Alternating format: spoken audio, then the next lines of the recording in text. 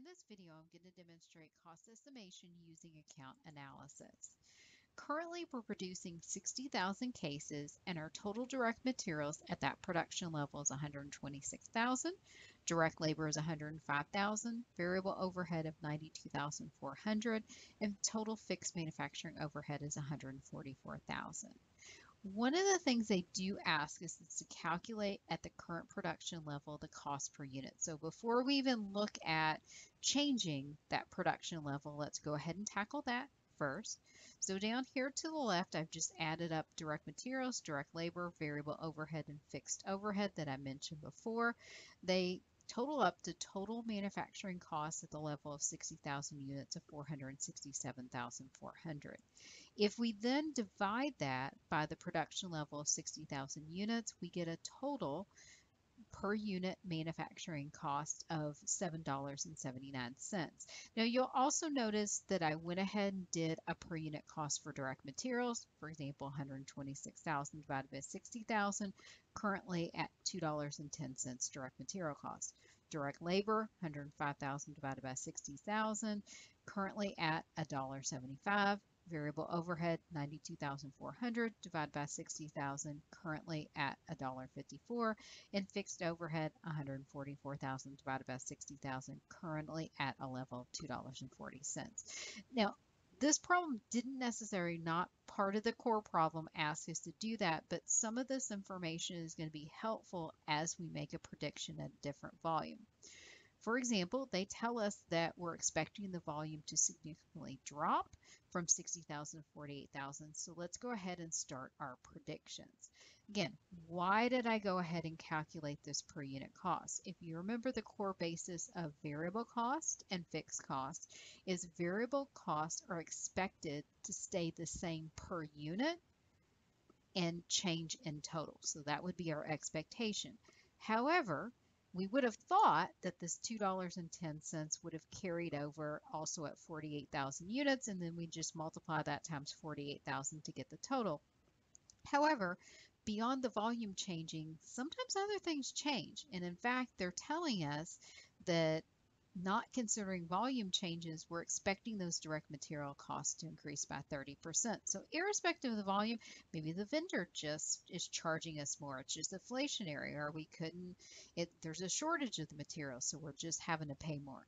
So I'm going to take that per unit cost of $2.10 and increase it by 30%. Here I just multiplied it times 130%. And the new direct materials cost per unit is going to be $2.73. Similar for direct labor, it was $1.75. Normal rules variable cost would have said carry over that $1.75 and again multiply it times 48,000.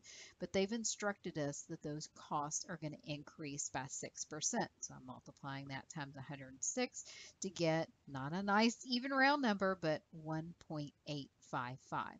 Again, something's changed irrespective of the volume. Maybe our, we decided to give a raise to our employees or they negotiated a higher wage than we anticipate. What else is changing? They also indicate that fixed manufacturing overhead is going to increase by 13.5%. Normally, fixed overhead does not change in total. So things like rent or supervisor salaries, we wouldn't expect that to change based upon the production level. But again, sometimes things change outside of that. Maybe we lease the facilities and they just, her landlord said, we're increasing your rent. Um, maybe again, we talked about wage increases. Our supervisors also demanded higher wages.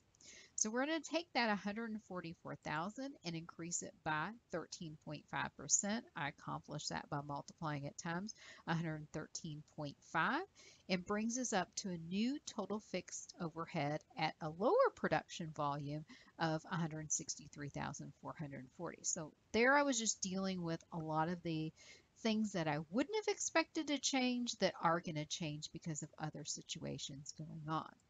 So let's look at the rest. So I'll go back to direct materials. We said now it's $2.73 per unit times a production level of 48,000 means direct materials at a volume of 48,000 is 131,040. Similar for direct labor. Now our per unit cost is 1.855 times 48,000. Our new direct labor cost is predicted to be 89,040. Variable overhead, we didn't say anything about it, so we expect it to follow the normal rules. The variable cost per unit is going to stay at $1.54 times 48,000 gives us total variable overhead of 73,920. We already calculated that fixed overhead, even though normally we've thought it would have stayed the same, it's increasing to 163,440. If we add up all four of those total manufacturing costs, we get a total manufacturing cost at 48,000 of 457,440. And if again, like our last requirement, ask us to also tell what that is per unit. We would divide that 457,440 divided by 48,000 units, and it would bring it up to $9.53 per unit at 48,000 units.